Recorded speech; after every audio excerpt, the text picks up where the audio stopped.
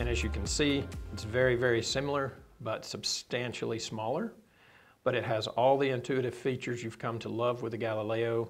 And today we're going to walk you through all of those features and show you just how easy it is to set up your new Galileo, as well as how advanced it is in color screen and many other features like Bluetooth download and things of this nature, making it the latest and greatest in the Scuba Pro computer family. So here we are. We're at our menu screen. In this particular case, we haven't actually set this computer yet to Imperial, but we'll go through and do it. But I want to walk you through what you're seeing on your menu screen. You've got menu, log, and dim. So the menu, of course, is going to let you go through your menu just like it did on your G1. The log is going to let you pull the previous dives that you've done as well as your statistics. And then over here under dim, if we do a light press, I can dim the screen or I can brighten the screen. And shortly we'll show you how you can go in and set those adjustments. So let's go ahead and hit the menu button. First thing you're going to have or that we want you to notice is on the left-hand side, you're going to see some numbers. So the very first in our menu selection or our menu offering is going to be set one. This is going to be the O2 setting. This is going to be the most common thing you're going to change quite possibly on a, a daily uh, time frame based on if you're in the dive industry or not. You may be diving a different nitrox mix and have to change this every day. So it's number one as far as often being utilized. So we're going to come back to that in a moment. You use the down arrows, the up arrows. We're going to scroll down, dive settings, digital compass, altimeter. And as you can see, you've got a little cursor over here to the side. Warning settings, clock settings. And we're going to go to number nine, which is personalization. Let's go ahead and hit enter. In this case, we've got screen configuration is the first one. So 9.1 is our screen configuration. At the bottom, this is really cool. You can see we've got current settings. So anytime when before you go to change anything, you can go ahead and look right here and see if you even need to go into the 9.1 personalization or if it's already set the way you would like. In this case, it's set off, classic off. So let's see what that is. So we hit enter. First thing is show profile. So I want it to show the profile on the screen during the dive, which would be the graph of the dive. In this case, I'm going to say no. So that would be off that you saw a moment ago. I can now hit my arrow. It's going to go to screen configuration. If you'll remember, we've got light. Light is going to be the smallest amount of information on the screen, but simultaneously giving it about 25% larger numbers. So you're going to have less detail, but you'll have bigger numbers if that's what you prefer, based on your vision underwater and how congested you prefer the screen to be or not be.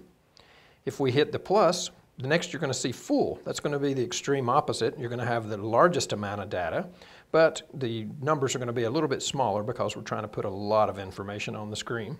And then of course a lot of folks like to go with the classic. The classic is the original Uwatec Classic from the 80s, which has depth, time, maximum depth, and of course your remaining bottom time or your no decompression information. And that's really popular. And you can also do classic with grid. So we're going to do the arrow. And next would be the rotation 180 degrees, just like you may be familiar with if you've had one of our previous Galileo series computers. As you can see, we've got the buttons on top. The word Scuba Pro is, is written so that the diver beside you can see. If I wanted to rotate it, in this case, I like to dive it this way on my wrist using the buttons with my index fingers.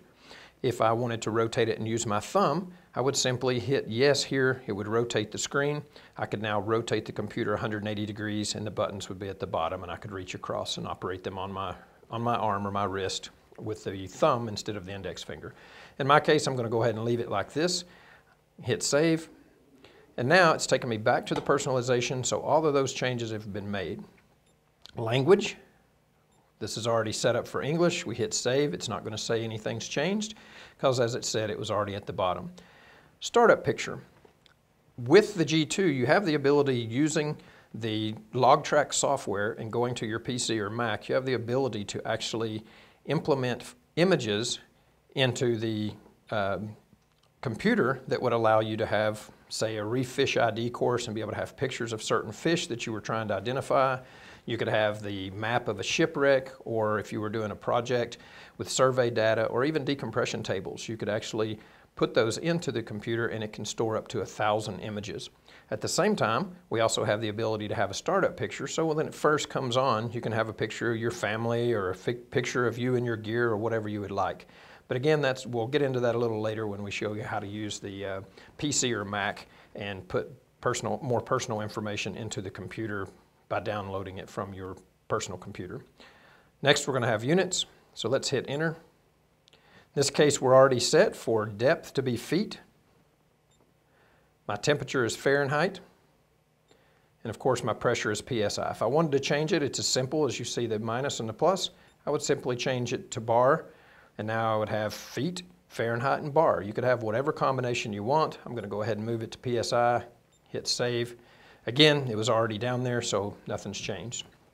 And you can see at the bottom, current settings, feet, Fahrenheit, PSI. So real quick glance of what you've got.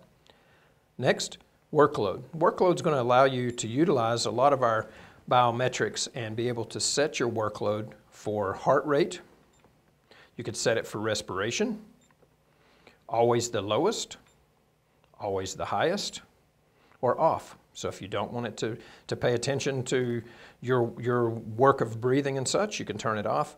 For me, I like to put it on heart rate, and I like to monitor that a lot. I think it's pretty cool using the heart rate monitor. So we're going to leave it at heart rate.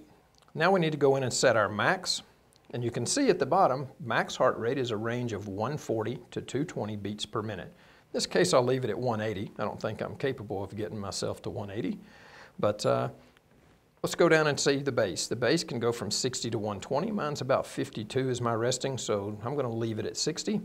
And in this case, I have my skin temperature set for on. You can set it for on or off. So now I've got the workload the way I want for my personal diving. And again, we're going to go down to 9.6, which is going to be show owner information. Once again, using the LogTrack software, we can come in, I can put my name, my address, my phone number, email, personal information, so that if I was to accidentally leave my computer on the boat or whatever, it would be very simple to positively identify that it's mine. But again, this is done using LogTrack and the uh, cable we showed you earlier. Next, emergency information, same thing. If I'm allergic to something, if I wanted to put in my blood type, emergency contact information of a nearest relative, or any of that kind of information, I can put it in here. It would be permanently in there. Uh, anything was to happen, was to get stung or something of that nature, someone could look at the emergency information and find out if I had any reactions and, and information they needed to know to help me. Color display. So here's how we did this when we switched computers. We'd already made these changes. I would go in and hit enter. In this case, you can see that I've got green as my default. I can also go down and make it white and black. It's going to look like this. If I wanted to make it black and white, she'll look like this. If you like blue more than you like green, now you notice the cursor's in blue, the framing is in blue and the detail in the bottom is in blue. I kind of like the, the, the, factory green, so let's go ahead and set it back to, to our factory green.